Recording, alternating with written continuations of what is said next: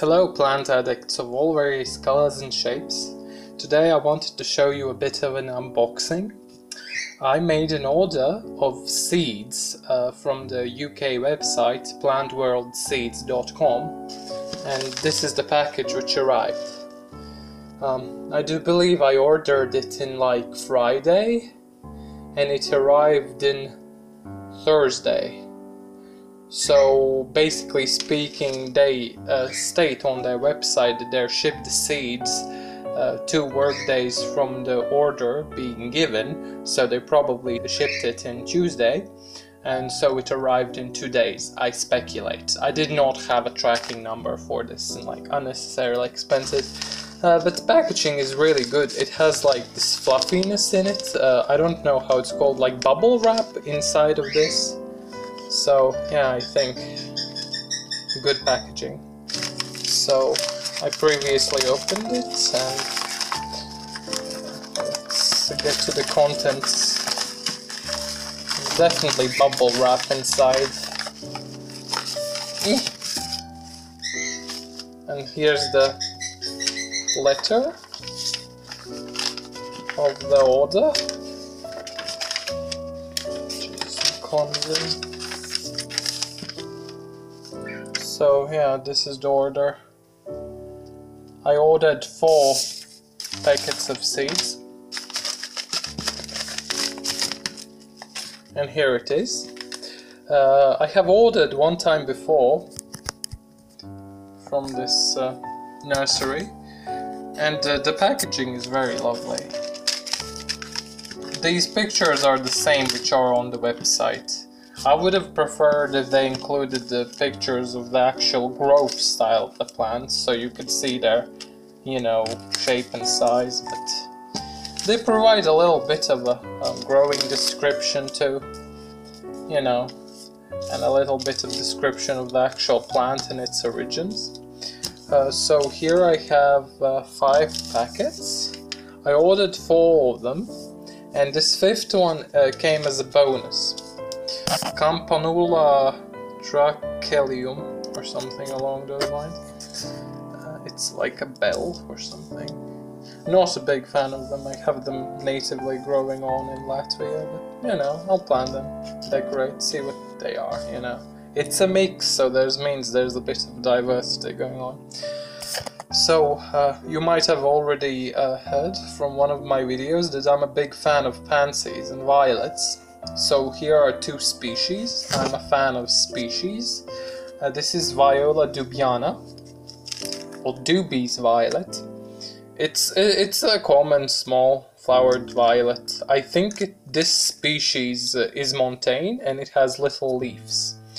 It grows in little bushes and it has uh, flowers like this, maybe with a darker throat sometimes as I've saw in Google's pictures. And this is a species I'm really interested in, Viola portalesia, and it originates from Ch Chile, or however you pronounce it, from the montane regions again. And uh, this is a small violet with nice, you know, blooms, uh, who are fairly small. Uh, but it grows like a bush 20 to 30 centimeters high. So that's very exciting for me and I was thinking if I could hybridize it with other um, viola species. Uh, you know stay tuned for that in the future. I think I'm going to be making videos about that uh, in May or April. Yeah so very excited for this species I don't know if it's fragrant also a little description going on here, the website and so on and so forth. Uh, this is uh, a hybrid Dierama blood drops. Uh, so uh, they are uh, Dierama. They are these. They are these really long grass-like plants, like two plus meters, and they uh, create these beautiful bell-like flowers. And I picked out the, of course, reddest and most beautiful one. Uh, but an interesting thing about this, uh, I don't know if they know the parentage of this breed. I suppose it has Dierama ignea in it, uh, or something along those lines. Uh, but yeah, this uh, this is you know seeds collected from a hybrid, which means its offspring are most likely going to be uh, varying, um, you know, in colors and stuff like that. A minus about this nursery is that they don't include a lot of seeds. And I previously, a year ago, uh, ordered this species. It had about uh, 20 seeds in this packet, and none of them germinated. So, yeah. Uh, but, uh, yeah, uh, violets and pansies have a seed germination like only three years since harvesting so maybe they didn't know that. I hope these are going to be fresher and better germinating.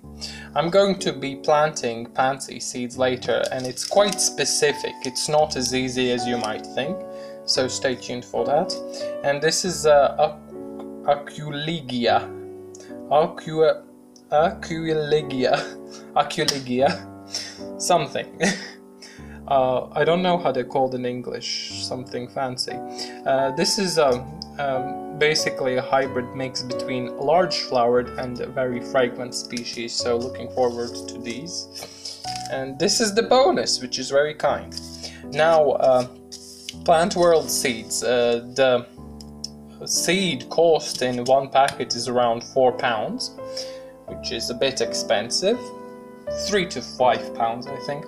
And uh, but a very big bonus is if you order two packets uh, you get a third one for free.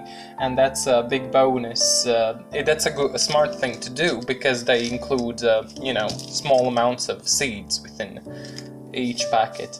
But uh, their nursery has a very immense diversity. They have like everything vegetables, fruit trees, decorative plants, bulbs. They even sell orchid seeds, which is very shady.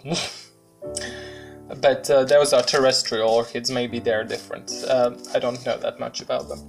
Uh, but yeah, um, I have very, you know, positive stance with this nursery. Not necessarily a very positive experience, but I have my faith in them. And, uh, you know, I'm going to show. Uh, this is just the first part of the review. I'm going to make uh, the second part, which is going to, you know, speak about the germination rates of these seeds. Uh, but they def they write, write on their uh, website that you should, uh, you know, perhaps give a cold rest or stratification for the seeds, and you shouldn't give up on them instantaneously because it might take a lot of months for them to bloom, which is shady. but uh, they're the experts. I, I'm I, I don't have like a lifelong experience in sowing all kinds of seeds. well, you know only like for five years. so yeah, thank you for watching this video. Stay tuned for me sowing some seeds. Uh, bye, have a nice day.